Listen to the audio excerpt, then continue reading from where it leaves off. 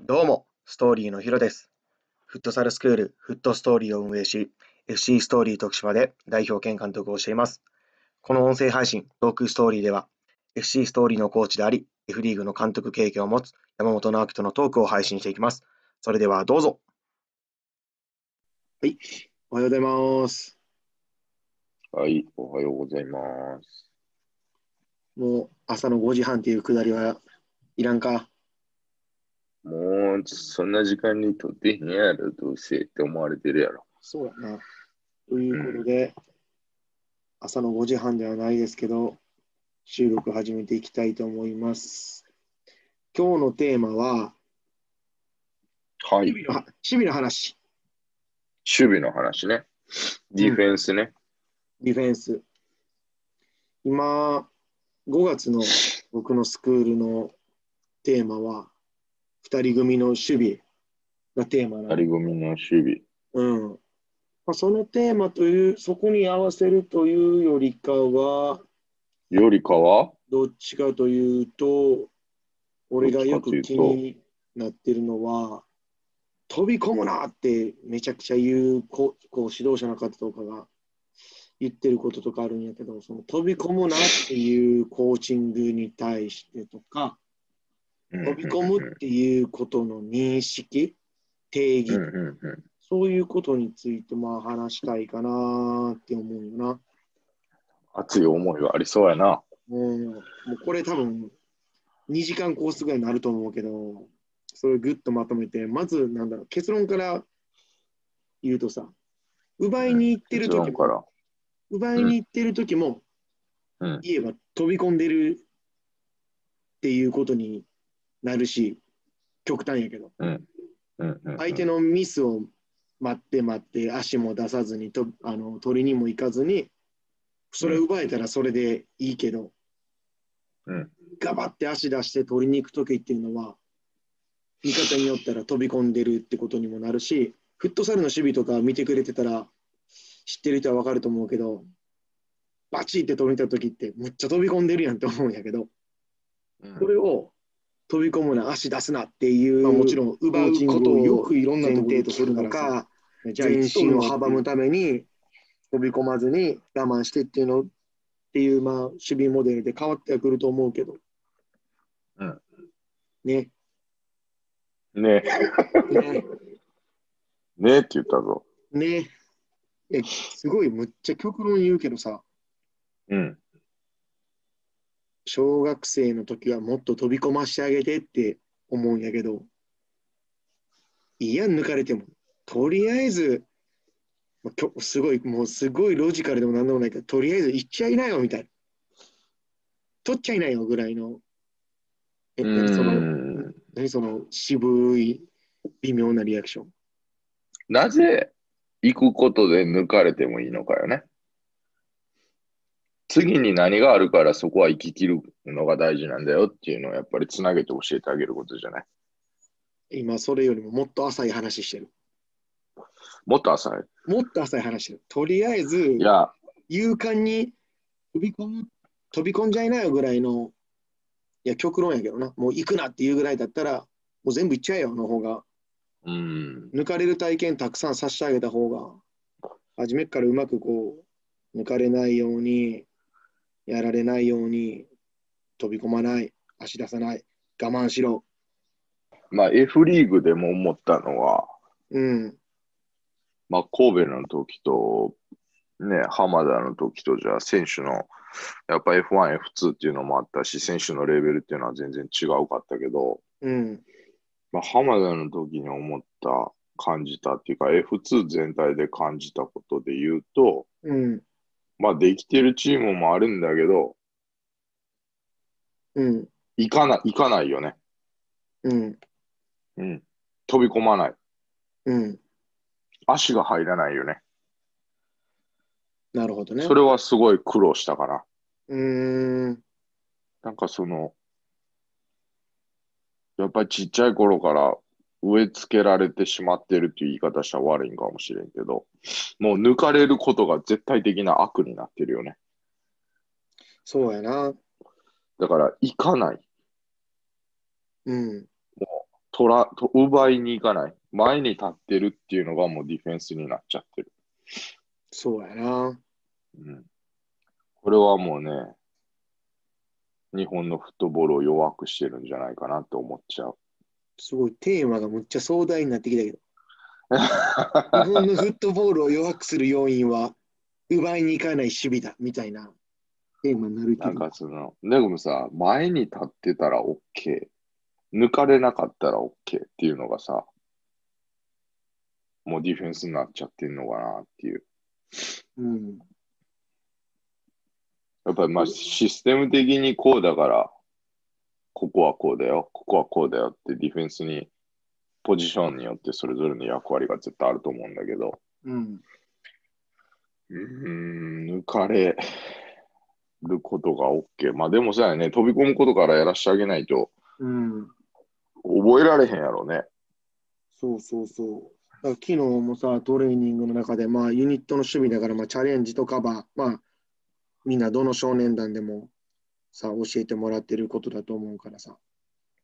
で、こう、いろんな守備戦術をそこから肉付けしていくと、どんどんどんどんそっちに寄っていって、そもそもボール奪いに行ってんのっていう話にまた戻して、カバー、カバーと、カバーのポジションくれてるんだから、行こうよ。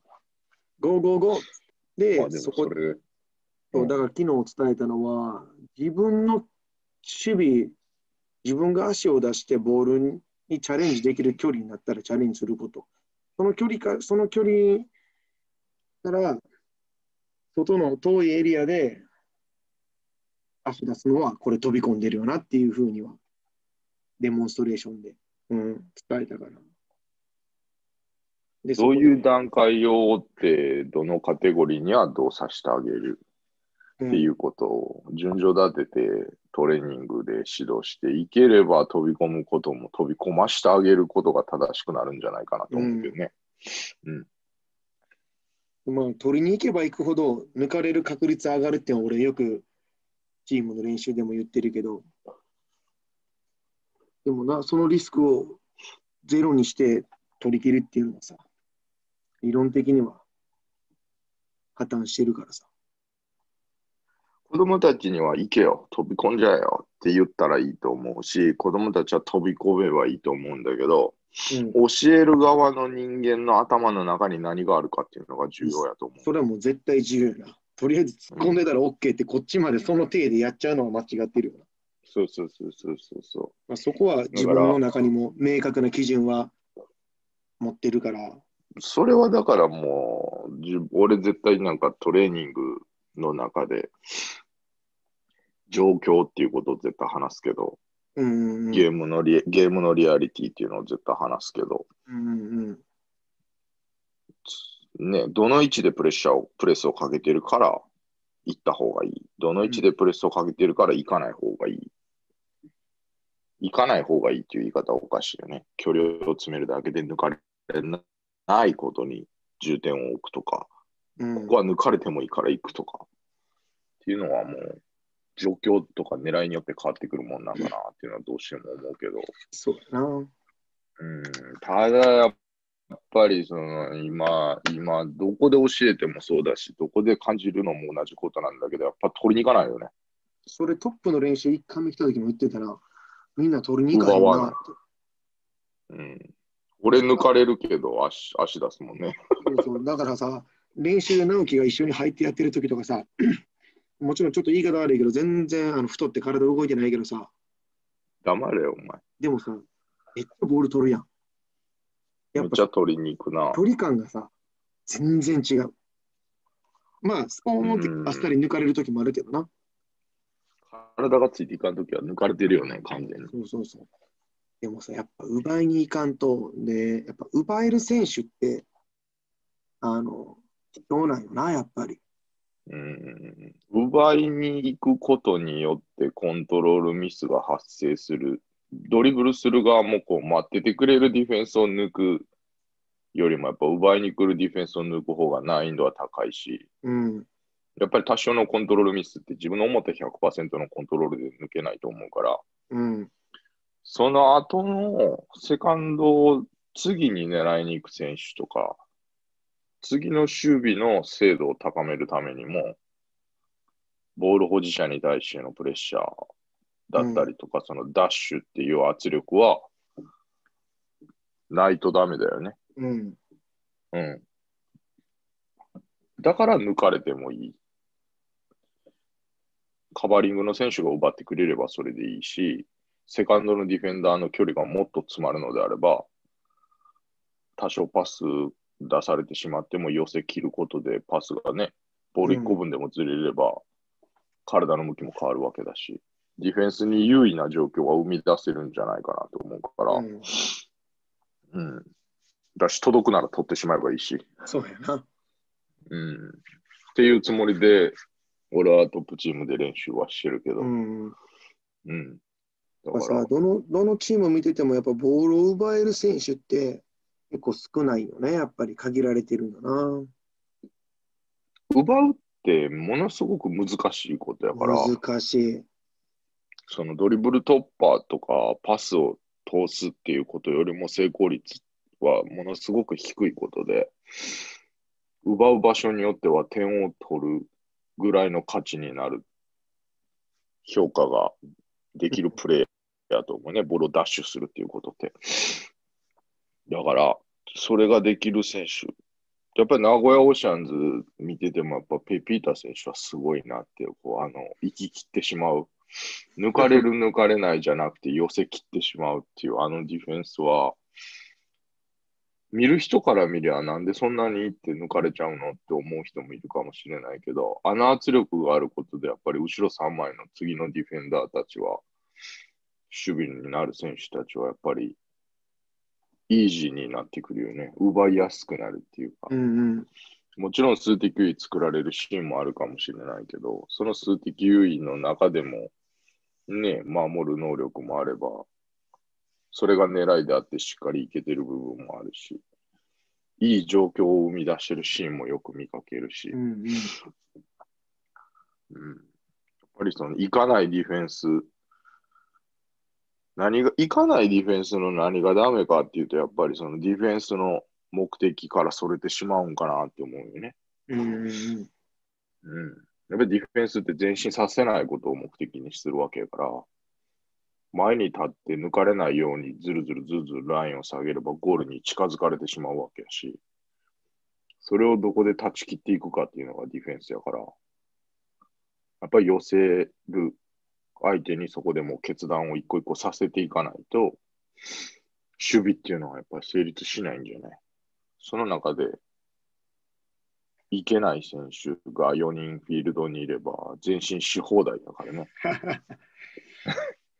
一生奪えないやつな。まあもちろんさ、相手が、相手の攻撃がうまくて寄せきれない、奪え、奪えるチャンスを作れないっていうのはあるけど、それ以前ので自分らでその奪いに行ってるかどうかっていうのはまあ大事じゃな。奪い、そうやね。まあエリアによって使い分ける。やっぱりシュートレンジに入ってるのに寄せ切らなければ打たれるし、なただのブラインドになるだけやもんな。そうそうそうそうそうそうそうそう。それってものすごく ディフェンスとしては大きな失敗やと思うから、やっうん。ぱり寄せる。飛び込むなっていうのは、何なんだろうね。なんで飛び込んだらあかんのだろうね。俺ちょっと飛び込むなっていうのはあんまりよくわからん。飛び込むなっていうのは、エラーに対してのコーチングだと思う。うんうん。飛び込んだ結果抜かれたことに対しての後付けのコーチングだと思う。ああ。行ってもいいんだけど、どうやって行ったらよかったよねっていうことを伝えてあげればいいと思うね。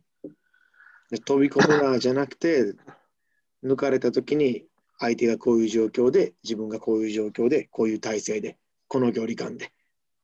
で、そこに対して強引に足を出しに行っちゃったから、かわされたとか。だからそれが結果そ、一言で飛び込むなじゃなくて、ところだな。飛び込むっていう言葉はもうなくしてほしいぐらい。フットボールから。飛び飛び込む、飛び込むな、撲滅委員会立ち上げましょう。僕別委員会、飛び込むなっていう言葉をフットボールからなくしてほしいね。飛び込めはいい？飛び込むとかっていう表現をもうちょっとなしにしてほしい。要はその距離を寄せる。だから俺はよく言うのは足を入れろっていうね。ああ、足な。足を、足を出せ。ボールに対して足を出せ。俺ねじ込めって言うてるわ。まあ一緒まあまあまあ、表現的にはね。うん。でもそのディフェンスっていうのも、その奪い方っていうのが絶対に、こう、技術的にあって、うん。その、その次に距離をじゃあ飛び込まなかった、距離をある程度の距離で保った、抜かれない距離で保った。うん。その次にみんなは何をするかっていうと、次、ボールが動くであろう進行方向、ボールが動くライン上に足を出す。うん。次、ここにボールが通っていくであろうっていうことを頭の中で予測して、その先に足を出そうとする。うん。うん。うん。じゃあ何が起こるって言ったら、また下もパスコースになるし、うん。その距離がボールから離れたところに足を出すから、パスだって通る。それさ、それを直すために、絶対フットサルやった方がいいよ。フットサルはもうボールに対して足を出さないと、ドリブルも止めれないし、パスも止めれないから、もちろんな、サッカーしてる指導者の方がフットサルに対して、まあ、いい印象、悪い印象あるかもしれないけど、やっぱ、だからテクニックとかのスポーツと思われがちやけど、マジで球際うまくなるような、強くもなるし、ボール取る確率と、ボール取れる、取る技術は格段にフットサルやったら上がるなってのはそれめっちゃ思う。でも、一般の人は趣味のスポーツとは思ってないと思うけど、テクニックのスポーツっていう認識だと思ういや、でも細かい技術はかなりたくさんあるよね。ど。うん。でもさ、飛び込むなの次の言葉って足を出すなじゃない？ああ、そうやな。足出すから抜かれんねん。我慢しろ。じゃない？俺はそれをよく聞くような気がする。踏み込むな、足出すな、我慢しろ。うん。でもさ、足出さんかったら取れんやん。いや、そうなんや。で、その足出すなじゃなくて、足の出し方教えてあげたらいい。それは俺も、俺もむちゃくちゃ細かに言ってるな。軸足の置き方こうで、みたいな。足の出し方こうで、手の添え方はこうで、ステップワークはこうで、こういう向きで走るんよ、みたいな。メニーナとかでもむちゃくちゃ細かに伝えてるよ。だから、なんやろう、その、飛び込むな、足出すな、我慢しろって、これは、俺の中では、誰に対してディフェンスをしてたら言うかな。森岡選手じゃないと言わんかな、相手が。うん、そうやな。俺も森岡選手と試合したときに背負われたけど、背中押したときに俺手首折れたかと思った。俺押してる側よ。いやもう背負われて押し込まれるからさ、もうガチでほんま突き飛ばしちゃろうと思って、ドーンって押したら1ミリも動かんくて。マジで俺手首骨折したかと思った。なんかタンスでも押してるんかなと思った、マジで。あの人はもう、いや、岩やで、岩。いやそうやな。だかちょっと次元が違うよな。その、奪うっていうことも、相手をドリブルで突破することと同じように、技術やと思うんよね。そうだな、守備の技術やな。奪う。そう。だから、飛び込む、飛び込む、足出すなっていうのは嫌いな言葉だから、その、足を出すにしても、どういうふうに、どの位置に、どんなタイミングで、うんどっちの足から出す、右足を出した方がいいのか、左足を出した方がいいのか、っていうのを、どういう状況だから右足で行くんだよ。どういう状況だから左足で行くんだよ。で足を出す位置はどの辺なんだよ。ないしはボールに向かって足を出すんだよ。っていうことを教えてあげて、そのボールを、足を出した後に、次は体をどう相手にぶつけてボールを奪い切るんだよっていうところまで教えてあげれれば、うん。うん飛び込めると思うんだよね。そうやな、飛び込めるよ。飛び、そうよな、飛び込める決断をさせてあげるための要素をたくさんつけてあげるべきやな。そして、飛び込むなという言葉を撲滅させるか。